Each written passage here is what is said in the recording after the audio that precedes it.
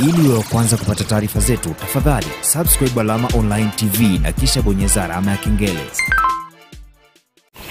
Nimeisikiliza taarifa ambayo imetolewa na afisa elimu sekondari. Kwa kifupi, sijaridhishwa kabisa na taarifa hiyo kabisa. Kama kuna siku mnaweza mmeniharibia siku ni leo hivi. Nikiwauliza, fedha mmepokea lini kwa ajili ya hii shule? Mmepokea lini? Serikali imeleta fedha lini?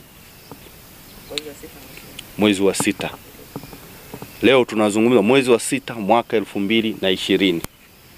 Leo tarehe tano mwezi wa kwanza mwaka elfu mbili na ishirini na moja. Miezi sita darasa liko hivi, alafu sababu ugomvi kati ya mkuu wa shule, si mkuu wa shule na kamati ya ujenzi. Kamati ya ujenzi iko wapi?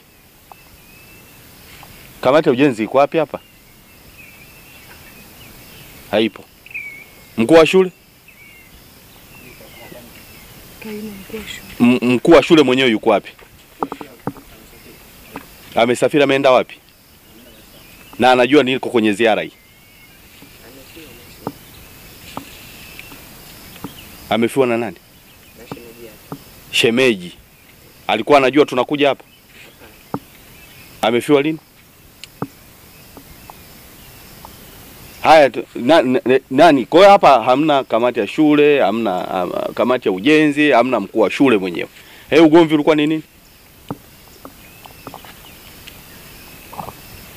Wakati kamati zimekaa na kumchagua mm, mm, kandarasi ambaye angejenga, walianza kuvutana wao wao, kamati na mkuu wa shule, hali waliopelekea kwamba kila mtu anataka huyu, mwingine anataka huyu, lakini ndio tukaingilia kati na kusema kwamba sasa lazima wawe kitu kimoja.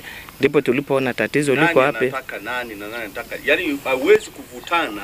Hela imeingia mwezi wa sita mpaka leo, darasa hata lenta yenyewe ndio kwanza unaona kuna nondo. Hii maana yake ni nini? Kamati ya ujenzi inaundwa na nani? Na kwa nini kamati ya ujenzi haijafika hapa? Na ndio wanaoshughulikia hili swala, kwa nini haijafika hapa?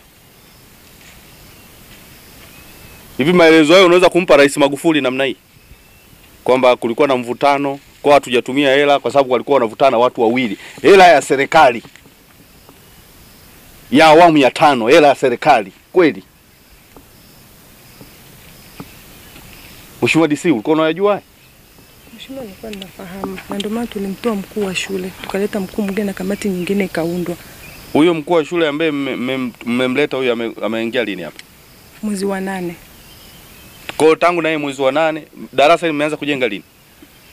Darasa lime ndio Mheshimiwa, wakati wanaanza kujenga ile darasa kulikuwa na hali kwa sababu ilibidi tufyatue matofali Ndio nauliza limeanza lini kujengwa lini? mwezi wa kumi, Mheshimiwa, Mwezi wa kumi. ndio Kwa hiyo maji miezi sita hayapatikani. Ni kweli kabisa hivi.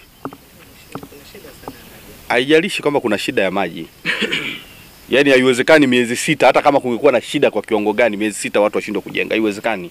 Siamini kwenye hilo, yaani siamini kabisa kwenye hiyo kitu. Kwa hiyo matarajio ya kumaliza ujengo ni lini?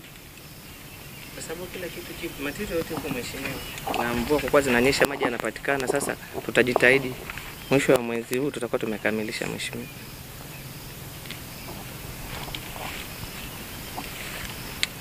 Sasa na, nataka maelezo ya maandishi, kwa nini na, na, na haya maelezo nataka ndani ya siku tatu yao ameshafika ofisi ya, ya Rais TAMISEMI wizarani pale. Kwa nini msichukuliwe hatua kwa kuchelewesha fedha ya serikali zaidi ya miezi sita mpaka leo jengo alipo?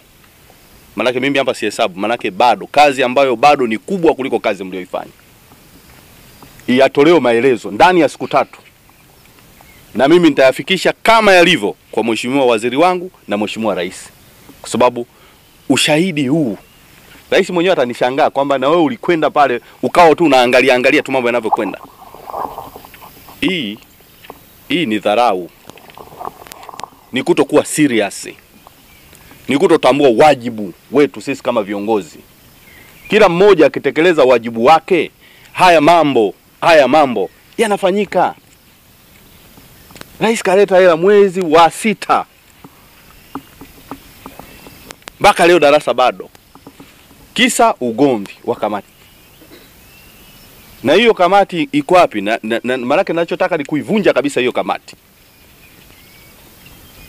kwa sababu huwezi kuwa na kamati inavutana kila, maanake kila mmoja anapovuta mtu wake, maanake kuna dili hapo, maanake mnavutana, kuna dili kwamba na sisi tupate mtu wetu akipata na sisi tumepata.